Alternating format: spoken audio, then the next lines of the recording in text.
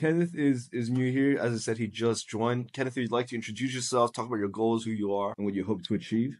Yeah, sure. So I, I go by Kenny. Grew up in Hawaii. Been living in Texas for the last twenty years. I do uh, medical equipment sale. I sell ventilators. Used to be a, a respiratory therapist working in the hospital, and then went into that selling the equipment. And because I travel so much and eat all the time with clients, I've just gained you know like fifty pounds, and want to get rid of that so I can uh, lean out, uh, have more energy, be able to do my hobbies with ease. And yeah, I like to get back in shape. I've been the number one salesperson in every company I've worked at, and I and I've got this this belly and, and out of shape that I want to I want to dominate in that too. I want to get get uh, you know my physical shape. And what uh, caused you matching uh, what I do at work. What caused you, Kenny, to kind of gain all the weight in the first place?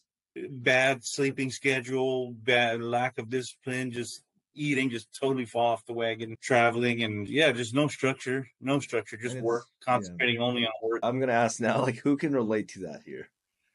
Hands up. You're not alone. Everybody here was pretty much in the same spot and on the same journey. Yeah. That's why it's awesome to have built this community. Yeah, so you know everybody's kind of on the same boat here, Kenny. Victor, how are you? Good. That's good. Have you started protocols yet?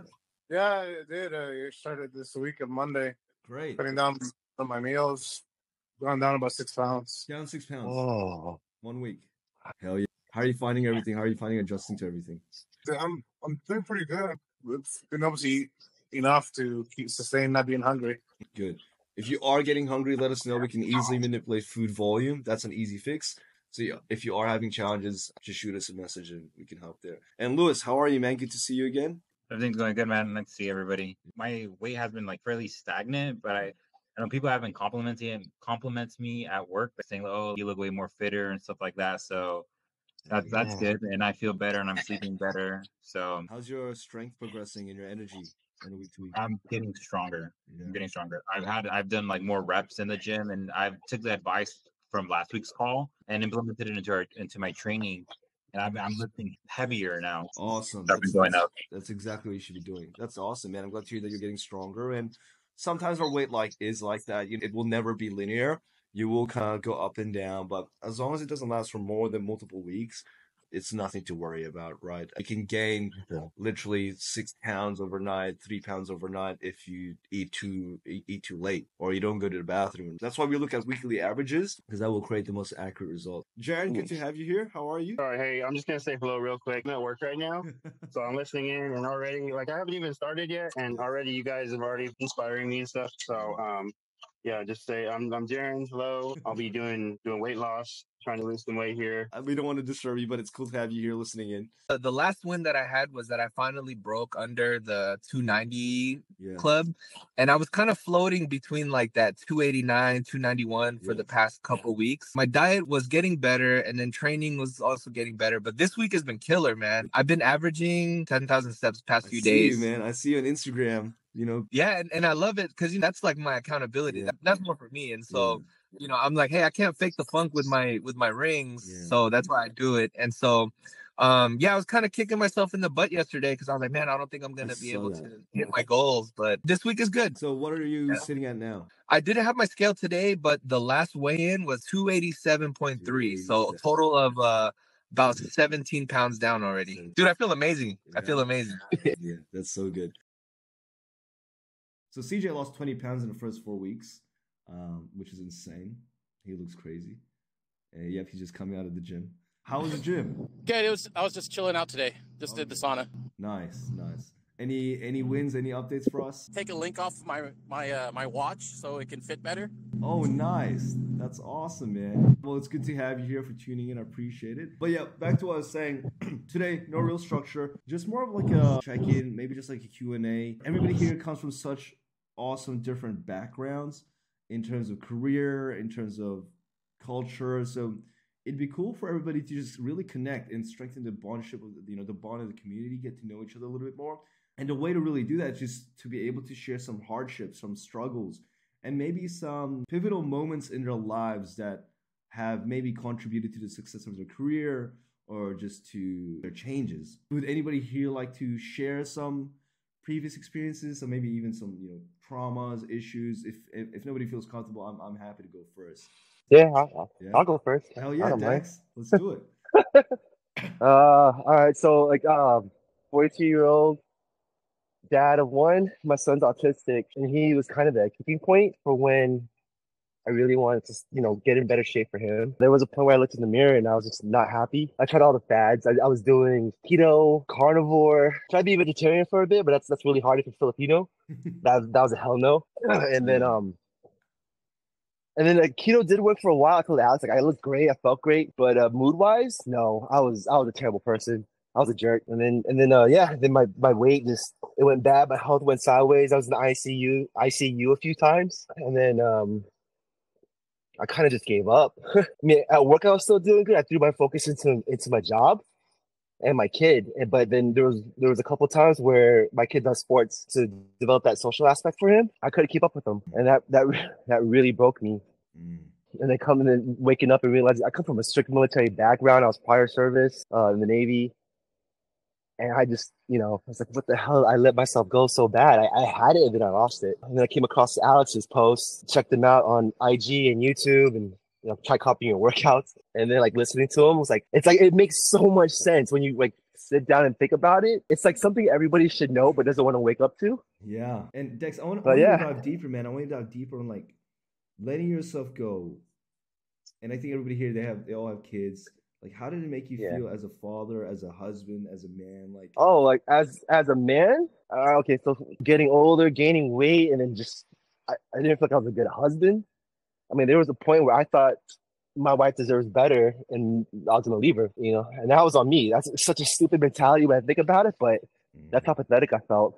mm, At work, I was unsure of everything. I didn't think I was a good dad, which, you know, like my son deserves so much better. When I think about it, I hate that I let myself get that far and get that pathetic. When, you know, to me, that's not the ideal of a man. Mm. You know, it's supposed to be the pillar, it's supposed to be the provider, the the guide, the protector, all mm. those things, and the leader. Yeah, and and yeah. now And, it- Dex, how are you feeling? and now my wife kind of she's annoyed by me now. It's like you're too cheery, you're too happy all the time. You know, you're always talking about your Discord guys, and it's like, oh, you know, like I was telling her about CJ. yeah. I was like, CJ is inspiring. He's like, like he was this much, now he's this much. Oh, he was in Vegas. I know we had to do that thing for mom, but we should have gone and seen him.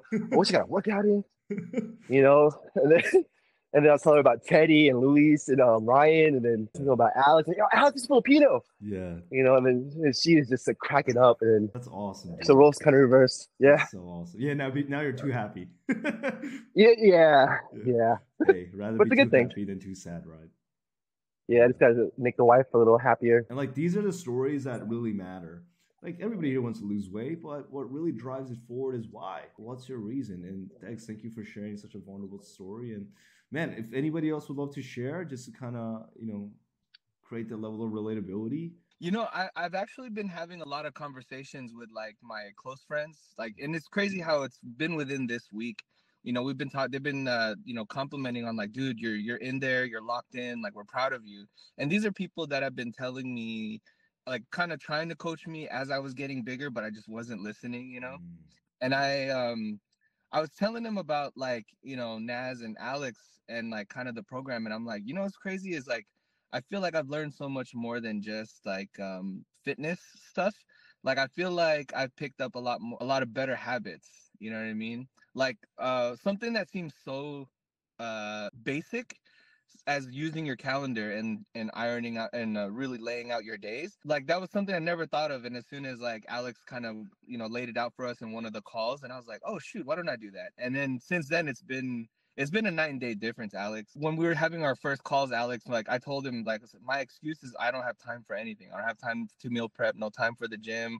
I spend all my time with my girlfriend and all this other stuff. But then as I started laying things out, I'm like, okay, wait, I have I have time to prioritize for for my my family, prioritize with my girlfriend, meal prep, going to the gym, and then even like stuff that I feel like I need for my own nurturing, which is like reading, get into like mental books and things like that, you know, just bettering myself overall, you know. yeah. Um, but I mean, think about that. It's like in two months of being with the program, like that's changed me drastically from you know being sad and and and like unmotivated to now like I'm hungry to like do something something great, mm-hmm. you know. And I would, Yeah. similar to Dex, like I'd love to hear, you know, how it made you feel prior. Like, you know, being that way, letting yourself go? Like, how did it make you feel as a man and fulfilling your duty and services? Uh, now it's like I feel so much more on point, you Mm, know, um, because uh, and it's great that I have the the support system that I have because everyone's cheering me on, and so if I have to step away and do something, everyone's like, dude, do your thing, mm, and then when I when I dedicate my time back because now I know like how my days are structured, who I'm going to be spending my days with, or you know whatever the case is, I'm able to dedicate more of my attention and like you know focus on them you know versus in the back of my mind i'm thinking of other things yeah i think overall yeah i'm doing so much better with you know with everybody you know in general Good, I'm glad. Yeah. And uh, you know, the chats are just you, you- it can be used for beyond just training and, and fitness, right? Like the reason that I was so inspired to create this and do this was because on my journey, not many people understood what I did, not many people supported what I did, and it was tough. Nobody really understood what I was going through. When you have struggles, you have people that you can lean on and say, "Hey, man, this is what I'm going through." It goes such a long way, and especially as men, I, you know, it's not something we can really talk about with our partners. I mean, you can, but it's the response you get from them is not the response you might necessarily need or need to hear, right? Because they don't. Lewis here is smiling because you know they're not going through what you're going through. They don't understand this pressure, this responsibility um, that we have on our shoulders. You know, we need to provide physically. You know, we, we have to work really hard to make money to provide for the family. Eh, But in doing so, you you know you let your health go and you you become super stressed out. But then you also need to be there emotionally, but you're already dealing with a lot of stress, and then you have to be there physically, but you also don't have the time to look after your health because you're so focused providing financially, right? So it's just this cycle, and like you can try to explain to them, but I guess hearing it from other guys and having other guys to speak to, it's it's it's different. It really is, and that's why it's so awesome to be able to to build this. And that um, I guess because my journey, it's never been um, necessarily about fitness. Like I've always been in shape growing up, but for me, it was other areas that I lacked. Right, and I was explaining this to Kenny. Um, I had fitness in control, but my relationships sucked. My relationship with myself sucked. My goals, my ambitions and in a way i felt very restricted and caged to my routines uh, and that didn't allow me to advance and grow into other areas but cj before i continue i'd love to hear your story man I'm CJ, uh, 46 years old. Well, anyways, uh, I've always been a, a bigger guy. Part of it's just uh, uh, the way I grew up, the way I ate. In my 20s, I did manage to. Uh, I mean, I lost the weight, but I got into uh, in the restaurant business and basically gained a whole bunch back.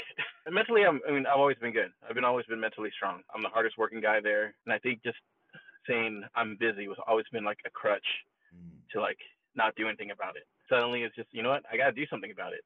Like I keep saying I want to do it, I want to do it, but never done it. And then came across Alex's uh, IG page, saw one video. I'm like, that sounds pretty interesting, and that sounds just like me. You know, guy over 300 pounds, just working his ass off, but uh, nothing really doing it with the health. So just really resonated, and so decided just to join. Just why not?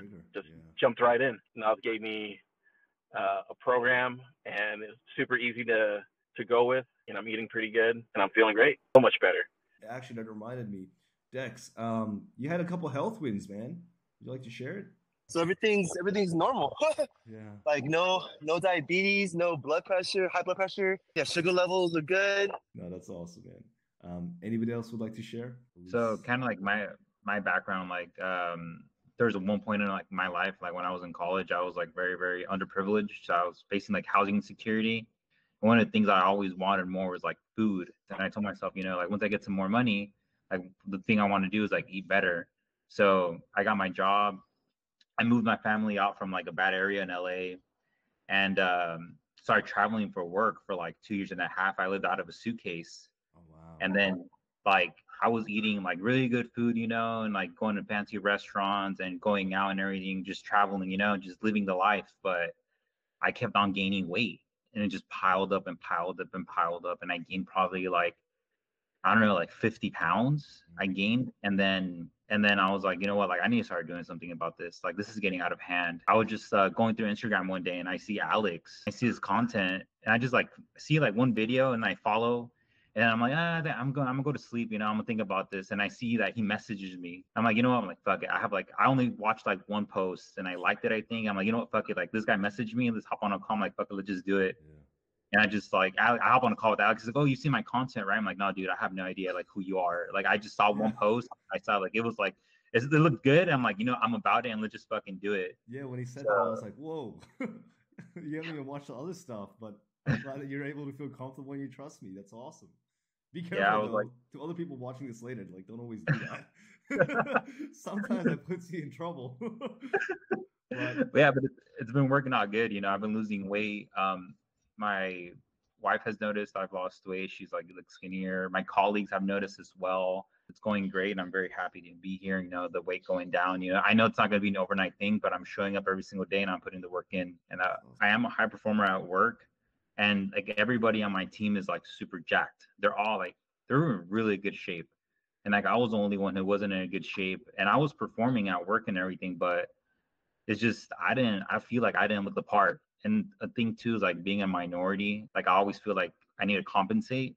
So I feel mm-hmm. like I needed to like, you know, put the extra work in. So not only was my, my work product good, but like I also physically look good, you know? Mm-hmm.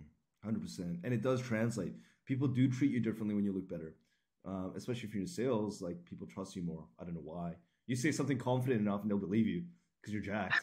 like it's a thing. I mean, I was in a spectrum of being super skinny. Nobody gave a fuck about me, dude. Nobody cared. Nobody cared about what I said. Um, all of a sudden, come you come into a room, shoulders are peeking through your t-shirt. You know, even though it's like five dollars from Target. People are like, oh, what are you wearing? Where you get it from? I'm like, dude, the whole outfit's like a hundred bucks, right? it's not the clothes that make the outfit; it's you that makes the outfit. The, the energy you bring in the room almost forces them subconsciously to treat or speak to you a certain way. And unfortunately, that's the sad reality we live in. And we can all sit here and say, yeah, body positivity, yada yada, you know, 2024. But like, I think that's just for people who have become complacent that want an excuse to be like, hey, just love me for who I am. And yeah, we can still love you for who you are, but love yourself enough to do something better for yourself.